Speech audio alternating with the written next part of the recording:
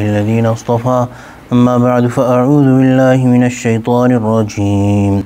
يا أيها النبي جاهد الكفار والمنافقين واغلظ عليهم ومأواهم جهنم وبئس المصير.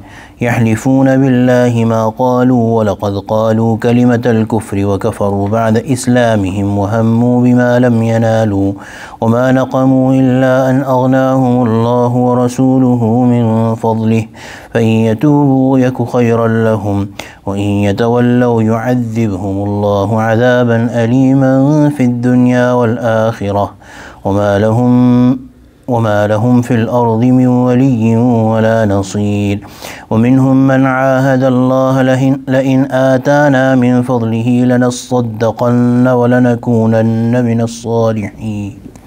فلما آتاهم من فضله بخلوا به وتولوا وهم معرضون. فأعقبهم نفاقا في قلوبهم إلى يوم يلقونه بما أخلفوا الله بما أخلفوا الله ما وعدوه وبما كانوا يكذبون. ألم يعلموا أن الله يعلم سرهم ونجواهم وأن الله علام الغيوب؟ صدق الله العظيم وبلغنا رسوله النبي الكريم ونحن على ذلك من الشاهدين والشاكرين. والحمد لله رب العالمين يا أيها النبي O our Nabi sallallahu alayhi wasallam جاهد الكفار والمنافقين واغلظ عليهم fight carry out jihad struggle against the disbelievers والمنافقين and the hypocrites وَغْلُظْ عَلَيْهِمْ and be strict with them. This is a direct command to the Prophet ﷺ to do jihad against the kuffar. Those who were open kuffar against them, jihad with sword or armed jihad is also commanded. Those who are munafiqeen, whose nifaq or their hypocrisy is hidden or known to Allah subhanahu wa ta'ala Rasul sallallahu alayhi wasallam, the jihad against them will not be armed but with words and with explanation that full effort will be made to bring them to the right path by making them understand the right thing and the most favorable thing for them. وَغْلُوظ عَلَيْهِمْ Be strict with them. So, غِلظة versus رَأْفَة. غِلظة is being strict, being hard on them. Be hard on them. There is a command from Allah subhanahu wa ta'ala, be strict with them. Ra'fa, be, ra'fa mean, means kind-heartedness, showing uh, you know soft nature towards them so the command here is that be strict with them now the tafsir of this ayah the explanation of this ayah will be seen as how the Prophet ﷺ implemented it. And there is no record in the whole life of the Prophet ﷺ that the Prophet ﷺ was harsh tongued with anybody the, somebody would come to the Prophet even the enemies of the Prophet even the kuffar, the Prophet always spoke to them softly and gently.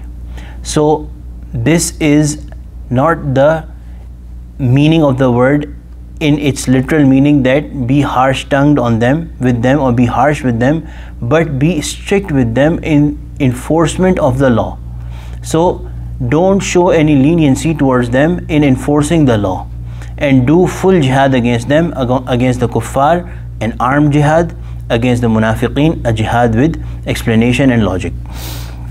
So this is the way of the Prophet ﷺ and may Allah subhanahu protect us as Adam Hussein have written that when the Prophet ﷺ was not harsh in his manners and his speech with even the kuffar then how can we think that it is permissible for us it does not matter if we are right or if we are wrong it is not permissible for us to be harsh in speech and in our manners with our fellow Muslim brothers.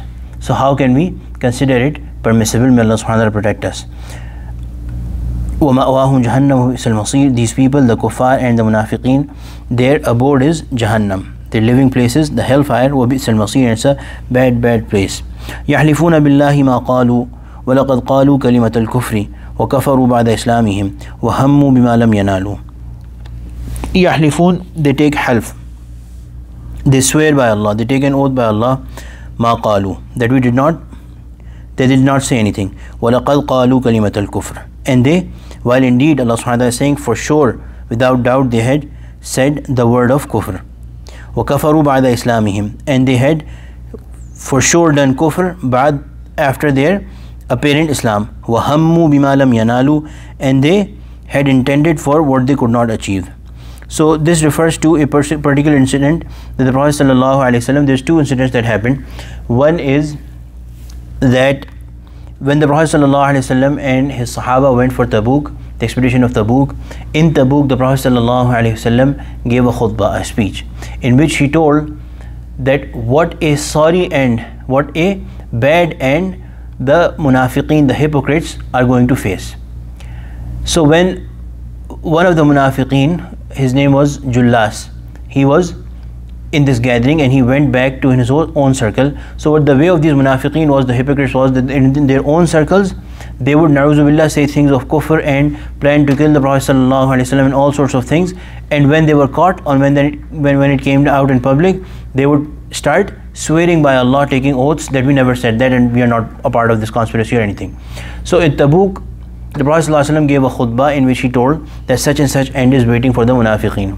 So one of these people, Jullas, when he heard it, he went back to his own circle and he said that if what Muhammad ﷺ is saying that is true, then all of us are worse than donkeys. So there was a Sahabi passing by, his name is Amir ibn Qais radiallahu anhu. He heard it, he overheard him saying it, and he said, The word of Muhammad is not false, and for sure in reality you are all worse than donkeys. So this finally came to the knowledge of the Prophet as well. And Amir ibn Qais anh, told the Prophet that such people were having a conversation and this is what they uh, said and this is what I said. So Jullas, when he was called, he said that I have said nothing of the sort and Amir ibn Qais anh, he has falsely accused me. And false accusation was a very serious thing. Buhtan or Tuhmat was a very serious thing. We take it very lightly, but it was a very serious thing. So to resolve the matter, the Prophet ﷺ, in the manner prescribed by Allah subhanahu wa ta'ala, they, when they reached back to Medina, the Prophet ﷺ had them both come to the mimbar and swear by Allah that they did not say anything like that. So the Jullas, he very easily came and took a false oath that I never said such thing and Amir ibn Qais radiallahu anh, he has falsely accused me. Amir ibn Qais radiallahu anh, when his turn came, he also came and he swear by Allah that this is the truth, I am saying the truth and I have not made a false statement. And then he raised his hand and made dua to Allah subhanahu wa ta'ala that Ya Allah, open this matter, send wahi to the Prophet sallallahu alayhi wa and open this matter upon your Nabi through wahi.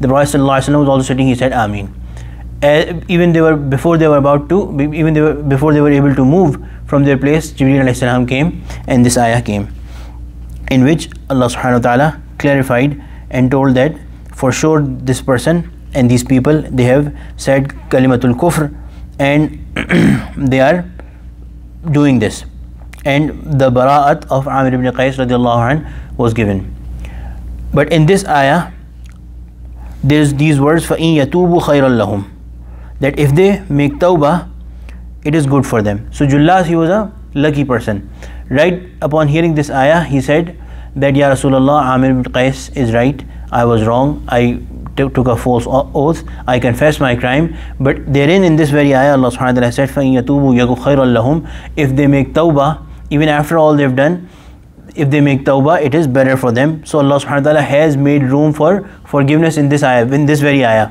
So I make tawbah. And he made tawbah and Allah subhanahu wa ta'ala turned his days and he became a true good Muslim. So anyway the other thing where it says wahammu bimalam yanalu they tried to achieve what they could not get. This refers to as the Prophet ﷺ was returning from Tabuk 12 of these munafiqeen went ahead and hid in a on the way planning to na'uzubillah assassinate the Prophet sallallahu alaihi wasallam. Allah subhanahu wa ta'ala told the Prophet sallallahu alaihi wasallam beforehand and the Prophet sallallahu alaihi wasallam changed his way. So they could not get it. So this is what they kept on planning but they did not get.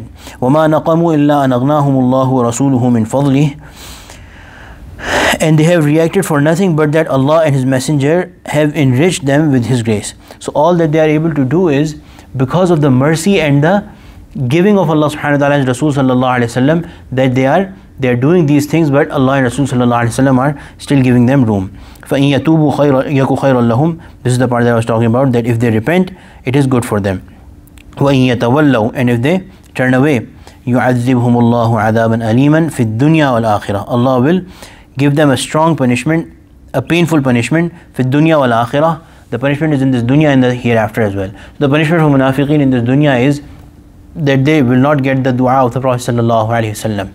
Because the Prophet wasallam would used to give dua to people who the Prophet wasallam would be happy with. And these people the Prophet wasallam was of course not happy with.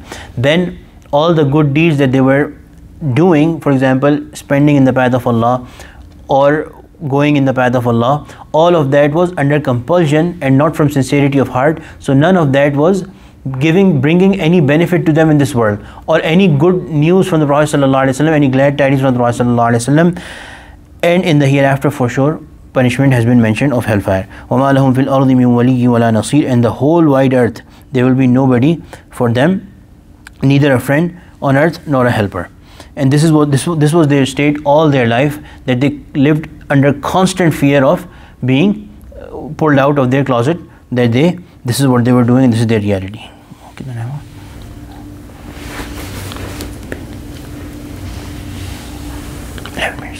okay inshallah we'll continue there's um, another story about the relating to the same uh, صدقات المنافقين inshallah we'll do it next time ربنا تقبل منا انك انت السميع العليم وتب علينا انك انت التواب الرحيم وصلى الله تعالى على خير خلقه سيدنا ومولانا محمد وعلى اله وصحبه اجمعين امين برحمتك يا ارحم الراحمين